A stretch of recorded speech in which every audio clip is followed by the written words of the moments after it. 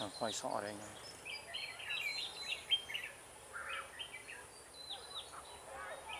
vừa sút trượt phát này.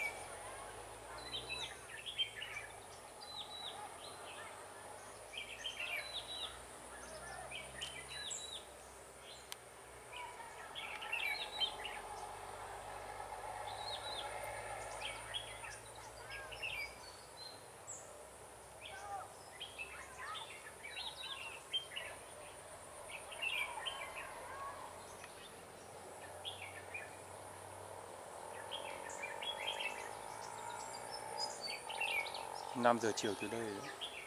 chết đi. Sập lửa người ra, vãi trưởng thật. Chịu. Rồi chịu rồi. Cảm ơn các em xem clip của bố hành đinh nhá. Về.